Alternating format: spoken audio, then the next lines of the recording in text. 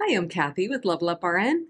In this video, we will be discussing some terms and concepts related to biotechnology that you likely have to know for your microbiology class. We will primarily be focused on recombinant DNA technology.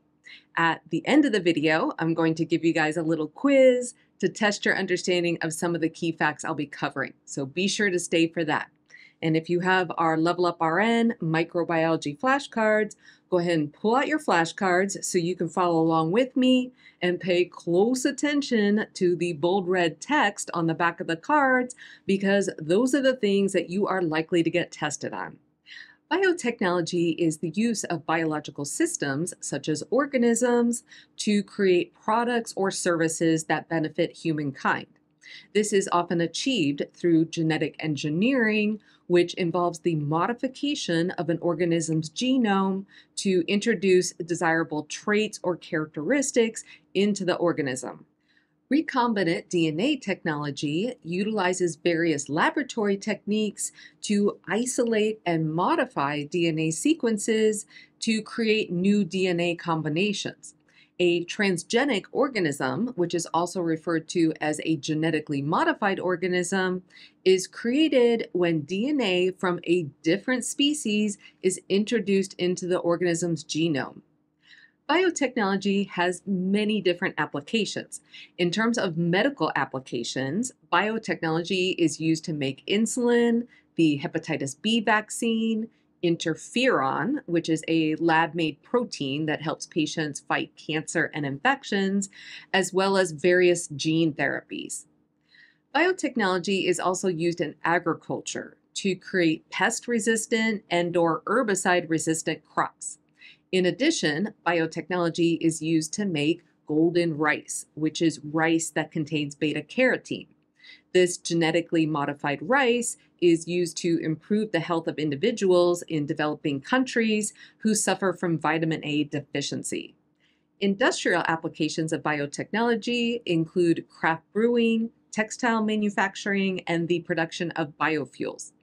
Biotechnology is also used in forensics to analyze evidence such as hair, skin, and blood samples. So these are just some of the examples of how biotechnology is used in our society. Let's now talk about some of the tools used in genetic engineering, starting with molecular cloning. Molecular cloning is a key technique where recombinant DNA is introduced into an easily manipulated host organism, such as a non pathogenic strain of E. coli. When the bacteria replicate, this produces a population of organisms that have an identical copy of the recombinant DNA. In order to manipulate DNA molecules, scientists make use of restriction enzymes, which are also called molecular scissors. Restriction enzymes are bacterial enzymes that cut DNA at specific recognition sites that are often palindromic. So, palindromic means that we have a sequence of letters that reads the same going forward as it does going backwards, such as the word mom or race car. Restriction enzymes can make a staggered cut or a straight cut in the DNA molecule. A staggered cut produces sticky ends, which are molecules with complementary overhangs, whereas a straight cut produces blunt ends, which do not have overhangs. DNA pieces can then be joined together by DNA ligase to form a seamless DNA strand. Of note, molecules with sticky ends are more easily joined together than molecules with blunt ends because hydrogen bonds can form between complementary bases on the overhangs.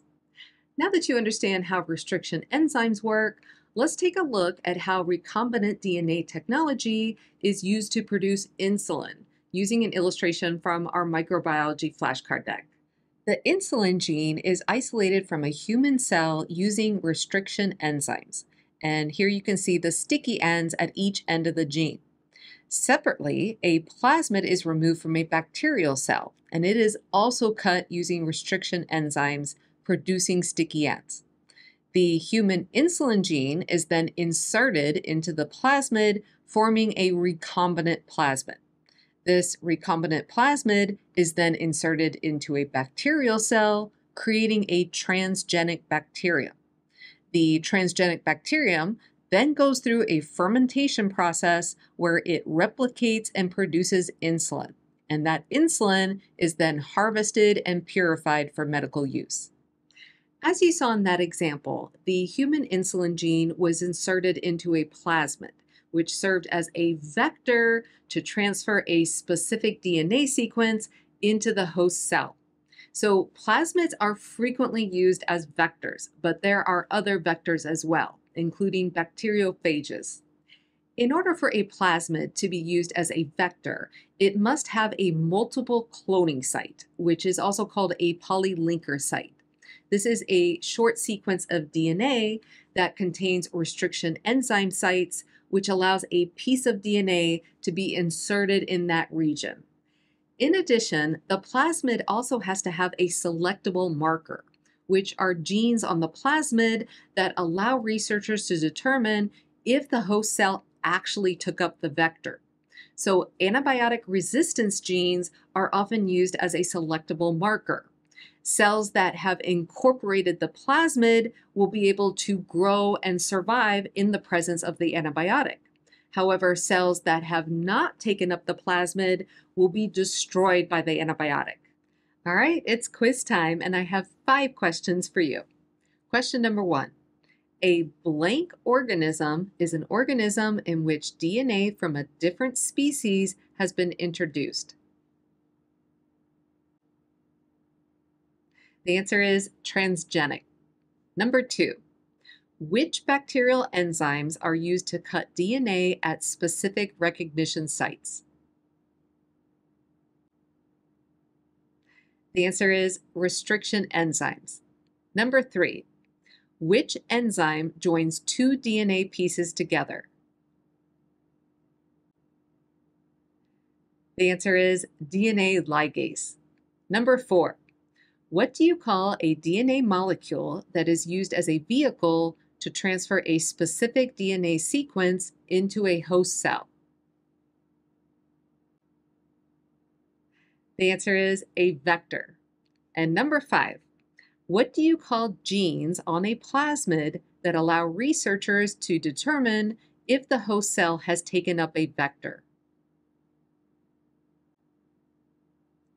The answer is a selectable marker. Okay, that's it for this video. Hope you did great with that quiz. Thank you so much for watching and good luck with study.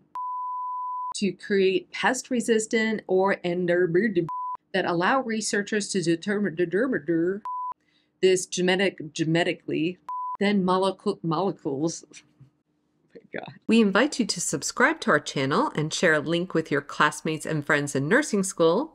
And if you found value in this video, be sure to hit that like button and let us know what you found to be particularly helpful.